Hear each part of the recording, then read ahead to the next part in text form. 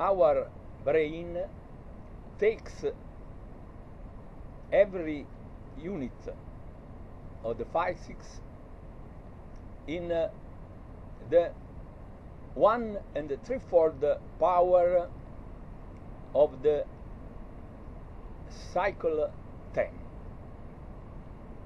and uh, it happens in uh, this way that we'll see in fact all the units of physics derive from this trinity of powers expressed in 10 cycles. 10 rise to 10 rise to 10 that is equal to 10 rise to 100 this is the way of every single derivation.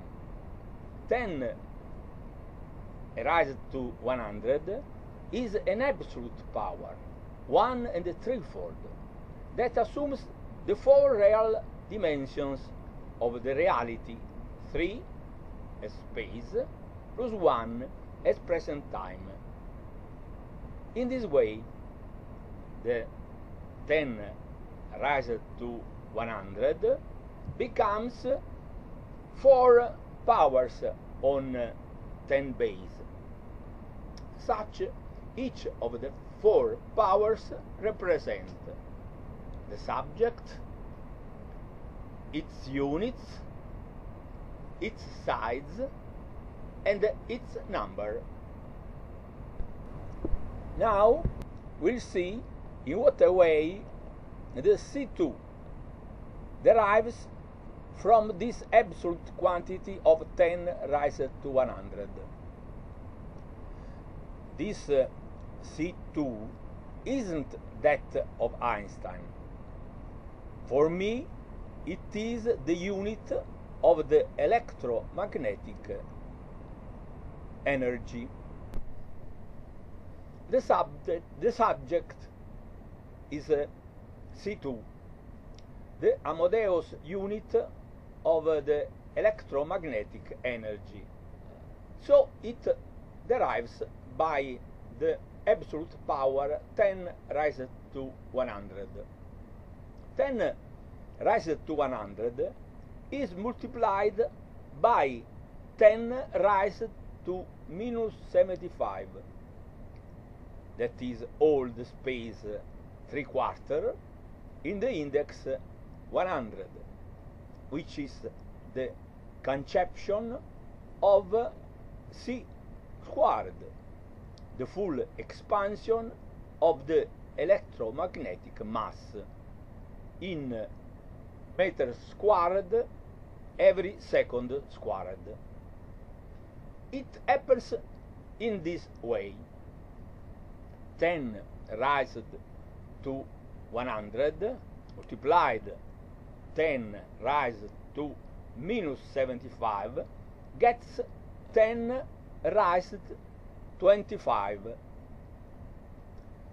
multiplied by meters squared every second squared as the C2 and uh,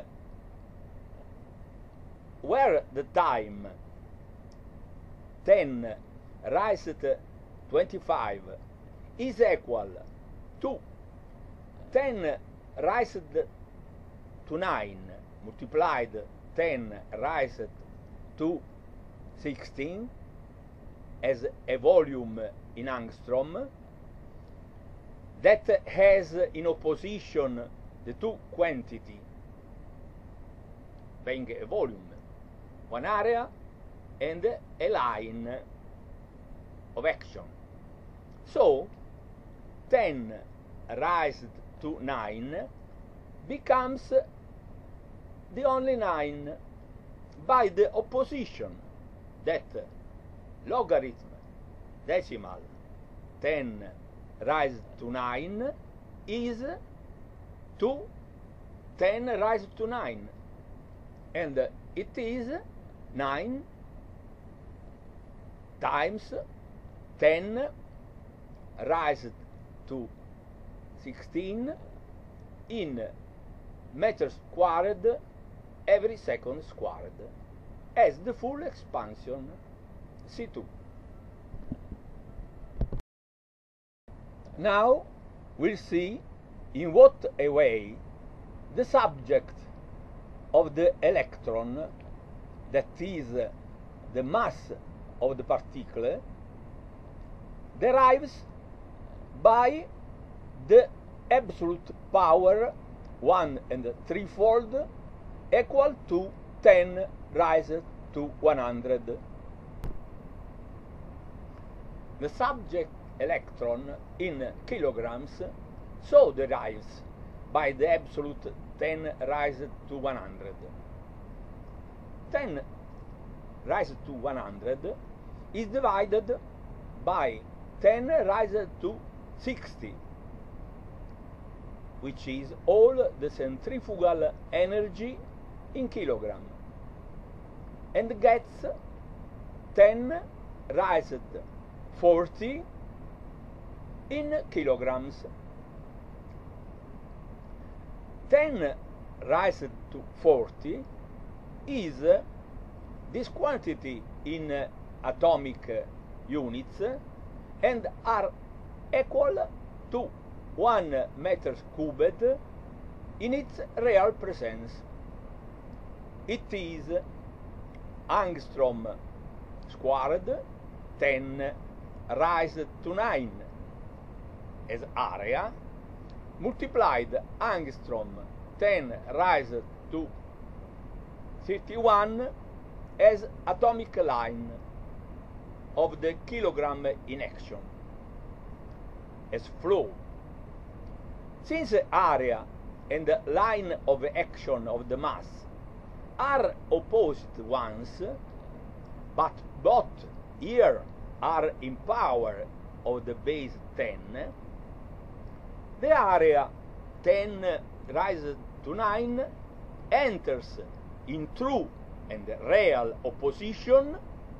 By the log 10 raised to 9 while angstrom 10 raised to uh, 51 becomes one particle as angstrom 10 raised to minus 51 in this way we finally have 9 times 10 raised to minus 51 kilograms as the mass of one particle.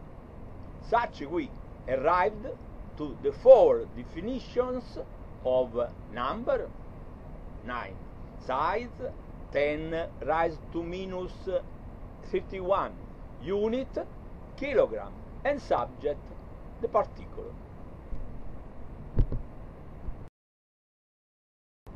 Every unit of the physics is in this way extracted by the absolute quantity 10 raised to 100 that is really as a god one and threefold for every unit of the physics. And uh, we'll see going on this derivation in other units of the physics